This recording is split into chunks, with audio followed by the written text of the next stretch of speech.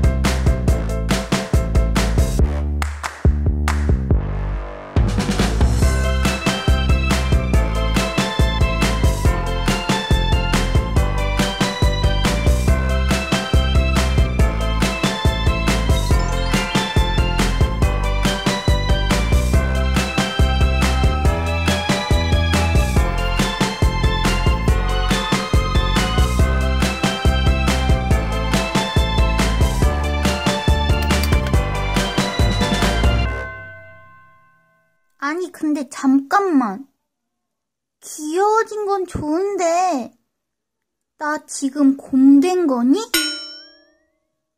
어, 그러게. 죄송해요. 마늘이랑 쑥 드릴게요. 그렇게 해적 아저씨는 다시 사람으로 돌아가기 위해 마늘과 쑥을 먹었다고 한다.